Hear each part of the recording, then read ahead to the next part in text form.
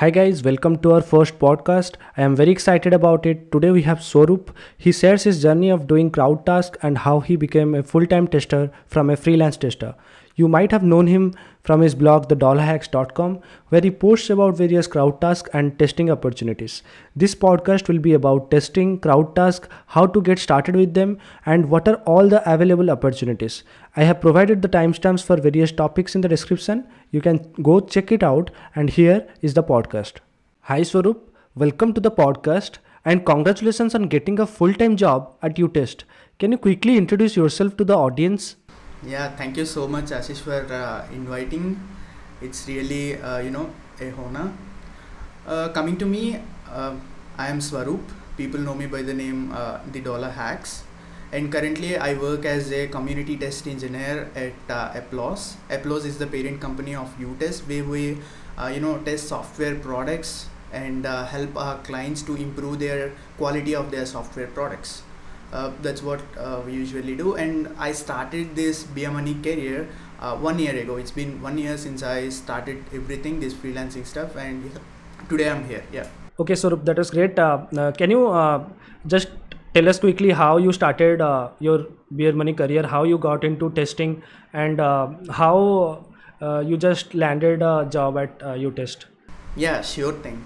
Um, as i said earlier um, actually a friend of mine uh, you know is working as a, as an evaluator at lionbridge.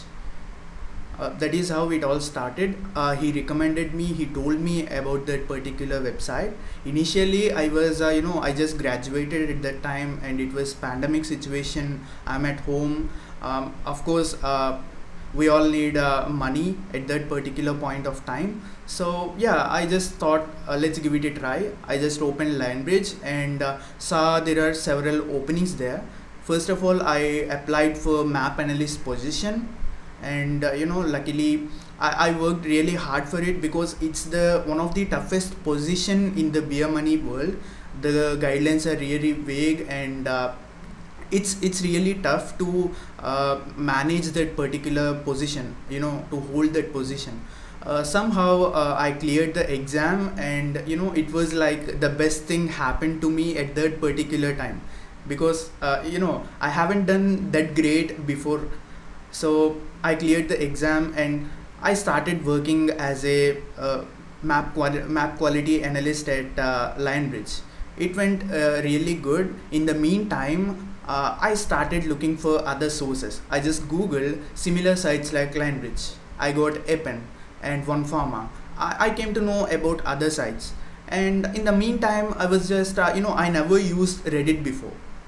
Like i was just uh, googling randomly and i found a subreddit beer money india basically I, I created reddit account to uh, communicate with other people about uh, lionbridge. I joined uh, lionbridge sub community and asked my queries. Somehow uh, it's going like that and i found beer money subreddit with over millions of people over there. Then i was uh, slowly redirected to beer money india where uh, you know i fo- i came to know more opportunities about this freelancing and i thought there is very little scope here but after landing on these communities i came to know that uh, uh, it's really wide than i thought. There are many opportunities. I, I started learning them. Um, to be honest uh, I, I consider myself as a quick learner and i started uh, like i gave it time. Initially i gave it time even though i, I was side by side managing these lionbridge uh, map analyst position. Also i got a few other positions at epen and OneForma. And uh, i started looking and registering for other websites. I found uhrs and everything. I started registering and i started working. And slowly slowly after few months i, I became a bit experienced in this particular thing. So i started uh, writing about these uh, websites and uh, uh, like in the form of articles i used to post it on reddit. I also opened a blog the thedollarhacks.com and uh, you know i started educating people regarding these uh, websites so that they can also earn from home. Initially when i started this when i tried to explain these things to my friends they they didn't even care. Like like they just call it scam or you won't get paid in the end. Yeah this is all happened yeah this is all happened then i started like uh, like i haven't shared it with my friends so instead i i wrote articles and posted on my website and reddit i got a huge uh, responses there and that is how slowly it was going and everything was uh, very good till december. That's where i started working as a tester. Um, I registered for UTest initially on um, June or July, but uh, 2020 June or July. But you know, I, I didn't give it much importance because I thought uh, the opportunities are very less and all. But in December, I got an invitation and slowly I did a few tests. Like after doing a few tests, I was uh, very interested. I was, uh, you know uh, I, I got really interest and I found my interest in testing field so I started taking it more seriously. Um, as a tester I used to get uh, several invitations. Uh, I used to test the apps and give feedback to the customers.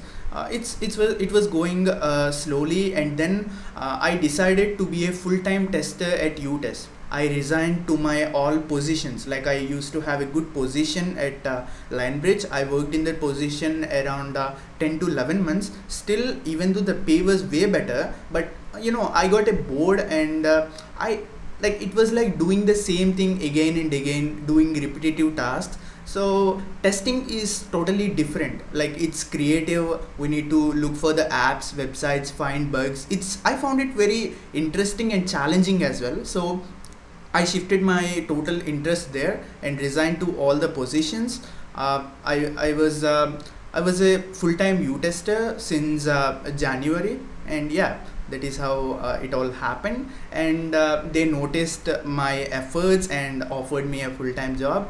Uh, it's been two months since I'm working as a community test engineer and I'm pretty happy about it that's that's great. Like uh, the beer money india thing that you told that's how i also started my journey. I'll say like uh, yeah. uh, i was roaming around the entire internet. I was just uh, like exploring everything and uh, as you said everything looks scam. Yeah. also you know even if you share something with people they will say it's it's a scam. Yeah. So like uh, that's totally relatable. I, I i think many of our audience will definitely relate with this thing. Yeah. and uh, uh, and your journey to UTest is really inspiring. And do you think being a tester is uh, something that will have like multiple opportunities in the future? Yes, definitely. In the current growing world, there is a huge competition between uh, companies, and uh, you know, for example, consider. Uh, let's just consider Zomato and Swiggy. You are trying to order some food in Zomato. You just open the Zomato app, choose your food, and uh, you try to purchase that particular food, but immediately the app crashed. You open it again and try to do the same thing. It crashed again what you do? You just go to swiggy. Yeah. You don't prefer zomato anymore. That's true. So uh, you just lost a customer. Like zomato just lost a customer. So you know every company has the same thing. They don't want to lose their customers. So testing is like it has a wide scope and every every company needs testers. I was a developer before, so I used to have tester friends as well because uh, like developers will have testers uh, always like it will it, it is a like a symbiotic Yeah, relationship you can say. So I can I can totally feel like. Uh, uh, if uh, if something is buggy, the product will not uh, be that much profitable. They are going to definitely Yeah. lose customers. And um, do you think a degree is important for uh, freelancing and uh, for testing in general? I, I left a line in my introduction. I did my graduation in agriculture. I have no, like, you know, I have no prior knowledge. I am pretty uh, rookie to this particular thing and I don't have any previous knowledge. I don't have any computers background. I'm just an agriculture graduate. Uh, still, you know, uh, I was, I made till here. So I don't think, I really don't think you need some kind of degrees. It's just your interest and uh, just find your interest and focus on it. And definitely your degrees, uh, whatever, they doesn't matter at all. You can succeed in any field. I totally agree with this. Uh, the thing is, I have still not uh, brought my degree Yeah. from my college. I, I have uh, I have you know graduated from two years now, and the degree is still in my college. So I can totally agree with you that degree is not uh, something that will uh, you know have much importance. If you have skills, if you have talent then definitely companies are going to notice you and uh, i'm so like i was so happy for you that you got into utest and uh, you know I, am sure you are going to get a lot of amazing opportunities i know you are very experienced with uh, the jobs in lionbridge Yeah. can you just uh, brief about uh, the difficulties and um, you know uh, what are the uh, perks of doing uh, lionbridge and h- what what experience do you get from uh, doing the uh, you know tasks in lionbridge Okay, uh, coming to the Lionbridge, there are several positions in Lionbridge. Like you know, uh, there is ads evaluator, social media ads evaluator, and uh, online map analyst, games tester, and uh, uh, you know, a mystery shopper, and several other Yeah. positions. I uh, believe me or not, I worked in almost all positions. I covered Lionbridge in total, uh, except I I didn't got an opportunity to work as a um, you know mystery shopper except Yeah. that uh, i almost covered all the positions. I even got selected as a games tester for, for microsoft in uh, Lionbridge. Uh, in india in whole india they chose only three people and i am proud to be one of them. Uh, unfortunately the project was uh, being postponed because i need to receive xbox from ireland. So uh, it, it is getting postponed due to this covid situations and all. I i just recently got a mail. I hope it will begin soon. Um, anyway coming to the difficulty thing um, i consider the map analyst thing uh, map analyst position is difficult of all. If uh, most people uh, come come to me and ask which position do you uh, suggest me at Lionbridge? I would definitely suggest a map analyst position considering the pay and the effort. But you know, it's not that easy to hold that uh, position. Initially, uh, let me uh, tell me uh, what happened to me. I created account. I was uh, I cleared the exam successfully. I got mails uh, that you cleared the exam, and I was like literally dancing in the same room. But again, after I worked for three days, my account was activated on uh, Wednesday and I worked till the weekend and Saturday my account was suspended. Uh, I was shocked like when I opened the website it says uh, your account was suspended. I got an email that account was suspended. I was really worried. I contacted the support but it was weekend. I know no one gonna reply. Again on after waiting a week they replied me that your quality was not good. We are removing you from the platform. okay yeah so i can i can totally feel you that Lionbridge is uh, can be tough at times. Yeah. very tough Uh, at times. it's it's really frustrating. It's the first position uh, you know i was really excited about it. Uh, i was like you know as i said earlier at that particular point of time it was the best thing happened to me. The guidelines it, i read like more than 200 pages guidelines. In a week to clear the exam and i did uh, i practiced some hundreds of questions to clear the exam but my account was suspended and i'm i was kicked out. And then I, I i tried to apply for the same positions but after a week i used to get the mails your application was rejected. I was very frustrated uh, you know it's it's really frustrating and finally somehow i managed to uh, create uh, some like i tried to create duplicate accounts created new emails and everything created uh, like uh, tried to use new internet connections but nothing worked. Uh, almost all the accounts were deactivated. Luckily uh, one of my friend applied. I told him i suggested him. He applied for that position and uh, I, I i helped him understanding the guidelines and cleared the exam after that uh, he was he got some other opportunity and he couldn't give time to Lionbridge so I took his account. So that's how I got into the Lionbridge and um, holding holded the particular map analyst position for uh, more than 10 months. I can say it can be frustrating at times but it is rewarding. It can it is really rewarding. So do you think it is worth it to do um, like uh, tasks in lionbridge given the you know um, uh, risk of uh, getting uh, banned a lot of times? Because i have also heard from a lot of people that uh, you know in uh, ads rater they they they will get into it but soon after 2 to 3 days as you mentioned uh, they will get a mail that uh, your account has been suspended or you have been removed from the position. This Yeah. thing happens a, like a lot. Yeah, so do you think it is worth it uh, to you know give the exam and uh, there because there is a chance of you being removed also. So do you think it is worth it? Uh, personally i feel it worth it because you know you're not paying anything to them. Like you don't have to pay anything. It's it's totally on you. They will kick you if your quality is low so it totally depends on you. So it's worth it. And i would say coming to the tasks availability it depends on the position. Um, as a map analyst i never faced any issue with the task. Uh, it's like i always when i open in the nights i used to have tasks. When i open in the morning i i used to have the tasks. I don't have any issues. But coming to the as you said uh, rater it's it's i agree it's really frustrating and sometimes i feel it it's not worth it uh, you know because uh, you have to check it very often. Still you don't have uh, tasks and also the pay was not good as a map analyst position and um, you will it's it's very frustrating that you will get emails saying uh, lots of tasks are available. When you open the task you it, there will be no tasks at all. It's it's kind of weird and uh, you know I, I honestly didn't like it.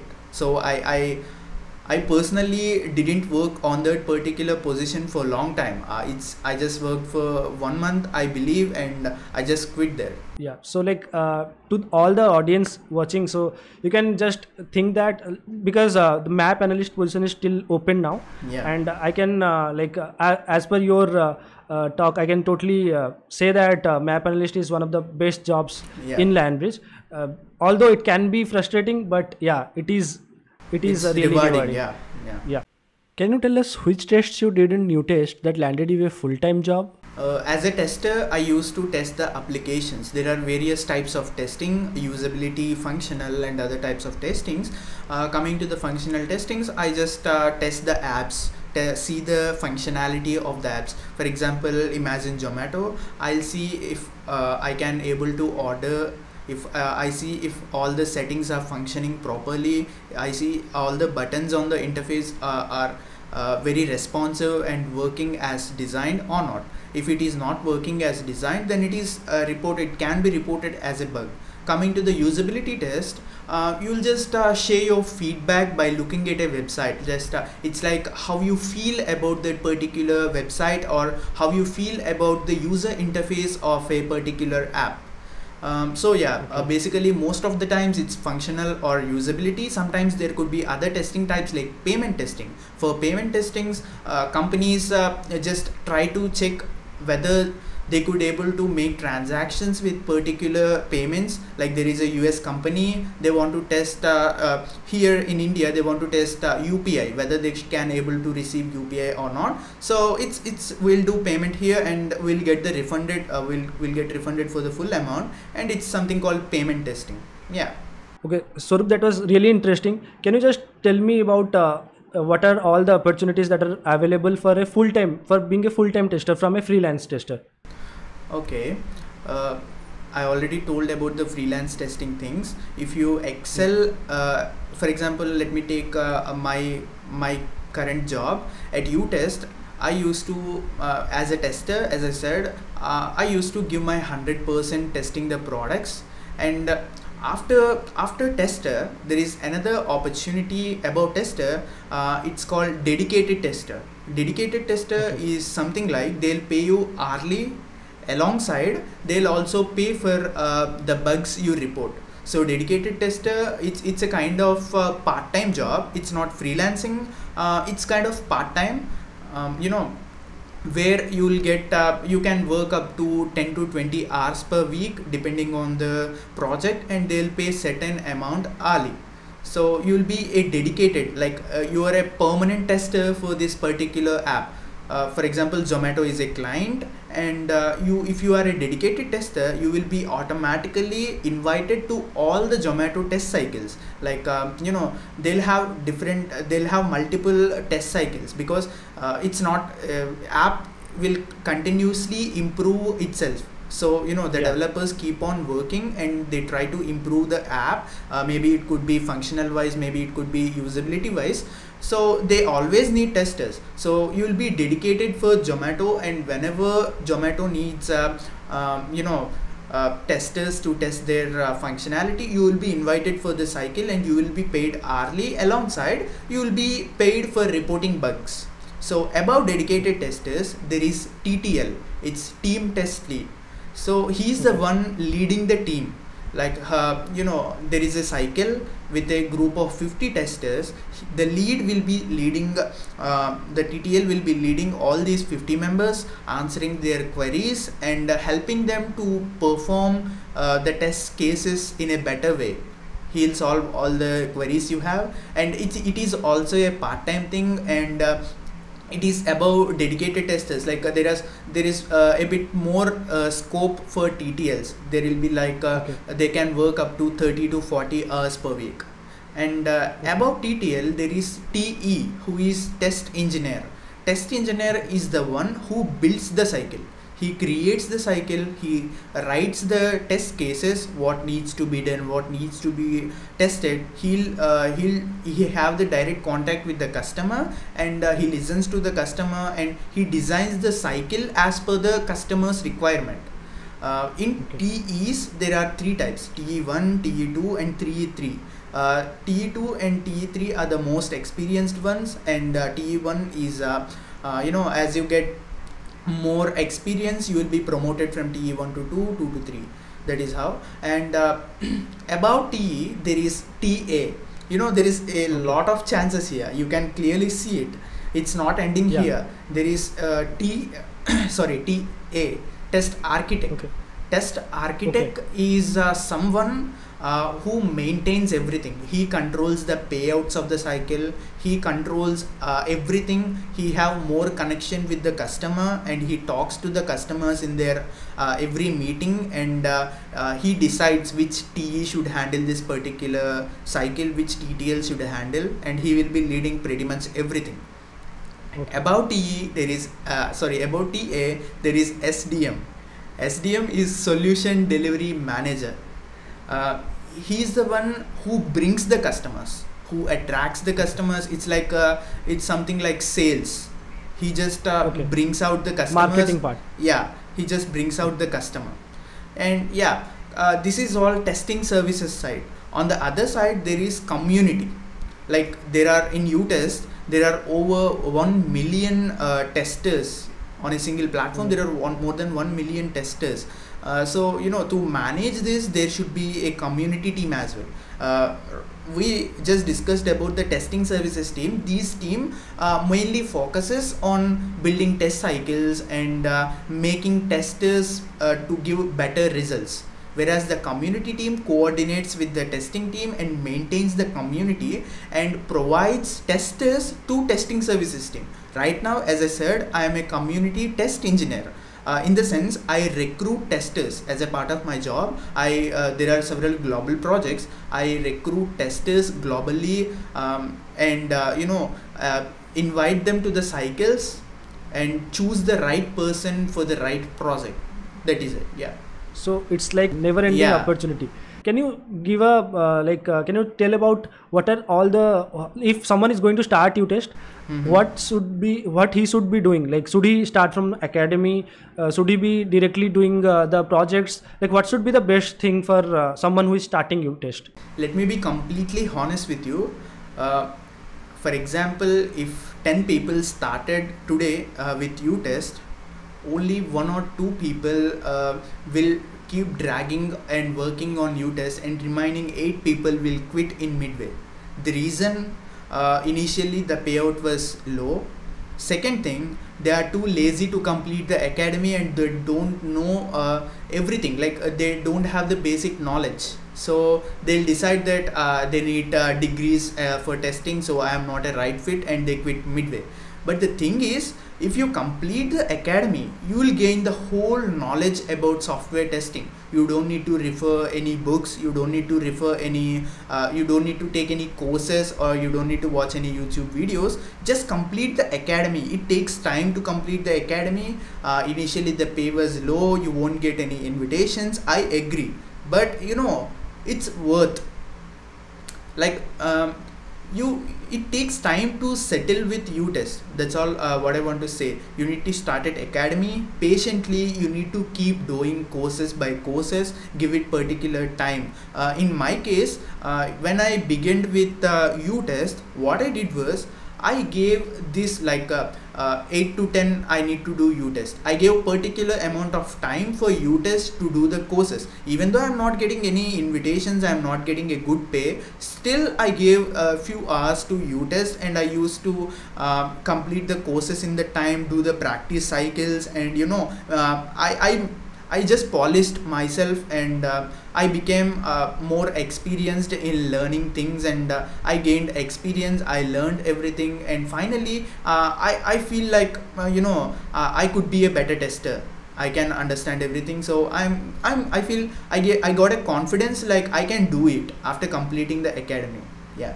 I totally agree with you. Like I have also seen like uh, multiple, like many people, they just come to a particular thing. They think like uh, today I have come here, so definitely someone is earning means I will also be earning that much only today. Yeah. And if I don't earn, then this is not for me. I'm never going to earn this much. Like Yeah. many people, uh, not like I have seen even in UHRS, I used to get every time that uh, uh, I do I don't even make one dollar per day. So this is all fake.